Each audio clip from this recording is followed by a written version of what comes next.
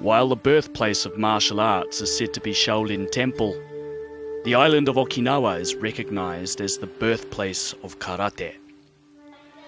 Tetsuhiro Hokama is a karate master who has dedicated his life researching the history of karate. He is known as the keeper of Okinawa's secrets. 豪樹流はですねもともとは中国の福建省の鶴県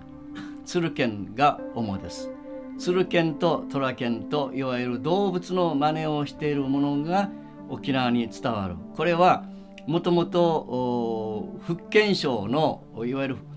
中国の使いが沖縄に来て伝えたものと沖縄のいわゆる死者が中国に行って教えて教えを請うたものがあるわけです。その中で豪樹流はまずあの歴史的に解明されているのが1392年の久米36世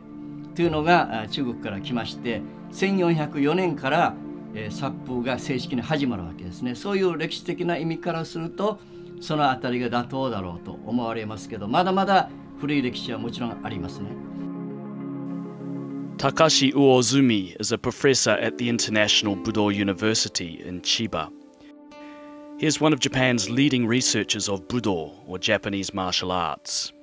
まあその中で武器が禁止された時代に、まあ、15世紀、えー、っと14世紀の末ぐらいからですね中国からの、えー、憲法がその一つの核になったと言われてますがそれで、えー、けあの空手術というところですね空手というのは昔あの空というのは中国のということですで中国から伝来してきたものが沖縄であの武器を持たない武術として展開してきたのはテッティという言い方でされたものですね。それがあのまあ、えー特にあの17世紀以降薩摩の支配あのに半分従属するということもあって武器が非常に禁止された時代に民間の中で武器を持たない武術として展開してきたのが空手術ですね。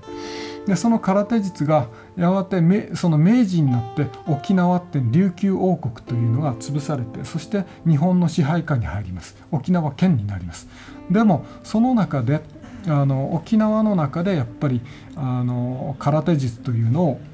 まあ、あの近代にその即した形で作り変えたという人がからあのいます。